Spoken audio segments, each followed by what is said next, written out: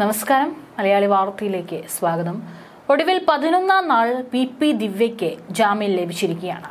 ഇതോടുകൂടി പല ചോദ്യങ്ങളാണ് ഉയരുന്നത്. പി പി ദിവ്യ ജയിൽ മോചിതയാകുന്നതോടെ നവീൻ ബാബുവിന്റെ ആത്മഹത്യ കേസ് അന്വേഷണവും നിലയ്ക്കുമോ എന്നുള്ളതാണ് അതിൽ ഏറ്റവും പ്രധാനപ്പെട്ട ചോദ്യം.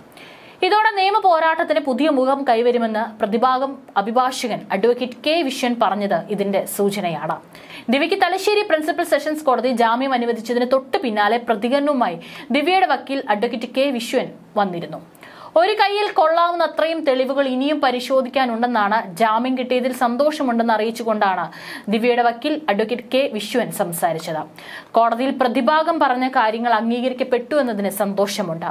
ഒരു കേസാകുമ്പോൾ എല്ലാ ഭാഗവും പരിശോധിക്കും. ഇനിയും ഒട്ടേറെ കാര്യങ്ങൾ പുറത്തു വരാനുണ്ട്.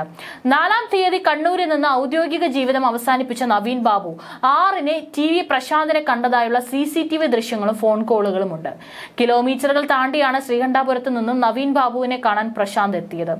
ഇതെന്തിനാണെന്ന കാര്യം അന്വേഷണ സംഘമാണ് പരിശോധിക്കേണ്ടതെന്നും അഡ്വക്കേറ്റ് പറയുന്നു. എന്നാൽ ഇതെല്ലാം നവീൻ ബാബുവിന് കൊടുക്കാനുള്ള ബോധപൂർവമായ ഗൂഢാലോചനയാണ്. ചെങ്ങളായി മാഫിയായിരുന്നു ഇതിന് പിന്നിലെന്നും.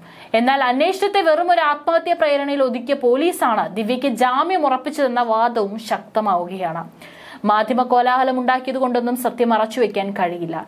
കേസിൽ ഇനിയും ഒരുപാട് കാര്യങ്ങൾ പുറത്തു വരാനുണ്ടെന്നും അഡ്വക്കേറ്റ് കെ വിശ്വൻ പറഞ്ഞു. കലക്ടറുടെ മൊഴി ഉൾപ്പെടെ കോടതിയിൽ പ്രതിഭാഗം സമർപ്പിച്ച രേഖകൾ പരിശോധിച്ചിട്ടുണ്ട്. ഇതിൽ നിന്നും കാര്യങ്ങൾ ബോധ്യമായതിനാലാണ് ജാമ്യം അനുവദിച്ചത്. അന്വേഷണ സംഘവുമായി പി പി ദിവ്യ പൂർണമായി സഹകരിക്കുമെന്നും പ്രതിഭാഗം അഭിഭാഷകൻ കോടതിയെ അറിയിച്ചിട്ടുണ്ട്. കണ്ണൂർ പള്ളിക്കുന്നിലെ വനിതാ ജയിലിൽ റിമാൻഡിലായിരുന്ന ദിവ്യയ്ക്ക് ആശ്വാസമാണ് കോടതി വിധി. എ ഡി എം നവീൻ ബാബുവിന്റെ മരണവുമായി ബന്ധപ്പെട്ട് land revenue joint commissioner A Geetha നടത്തിയ അന്വേഷണത്തിൽ കളക്ടർ അരുൺ കെ വിജയനെ പ്രതിരോധത്തിലാക്കിയത് കളക്ടറേറ്റ് ജീവനക്കാരുടെ നിർണായക മൊഴിയുമുണ്ടായിരുന്നു.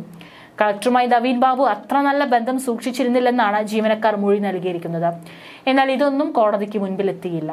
യാത്രയപ്പ് യോഗത്തിൽ മുൻ ജില്ലാ panchayat president P P Divya ആരോപണങ്ങൾ ഉന്നയിച്ചതിന് പിന്നാലെ നവീൻ ബാബു തന്നെ വന്ന് കണ്ട് തനിക്ക് തെറ്റുപറ്റിയെന്ന് പറഞ്ഞുവെന്ന കളക്ടറുടെ വാദങ്ങളെ തള്ളുന്നതാണ് ജീവനക്കാർ റവന്യൂ വകുപ്പിന്റെ അന്വേഷണത്തിൽ നൽകിയിരിക്കുന്ന മൊഴി. ഇതെല്ലാം കോടതിയിൽ എത്തിയിരുന്നുവെങ്കിൽ നിർണായക തെളിവായി മാറിയേനെ. റവന്യൂ വകുപ്പിന്റെ അന്വേഷണ റിപ്പോർട്ട് പോലും കോടതിക്ക് മുന്നിലെത്തിയില്ല. ഇതിനൊപ്പം ദിവ്യയെ പോലീസ് കസ്റ്റഡിയിലും വാങ്ങി. വെറും ഒരു ആത്മഹത്യാ പ്രേരണ കേസിൽ വെറുതെ ആരെയും ജയിലിൽ അടയ്ക്കാൻ കോടതിക്ക് കഴിയില്ല. ആത്മഹത്യ കേസിൽ എല്ലാ മാനങ്ങളും ചർച്ചയാക്കിയിരുന്നുവെങ്കിൽ വിധി മറ്റൊന്നാകുമായിരുന്നു. ഏതായാലും പി പി ദിവ്യ പുറത്തിറങ്ങിയിരിക്കുകയാണ്. ഇനി എന്തായിരിക്കും? കേസിൽ നിർണായകമാകാൻ പോകുന്ന മറ്റൊരു വഴിത്തിരിവ് എന്നുള്ളതാണ് എല്ലാവരും ഉറ്റുനോക്കുന്നത്.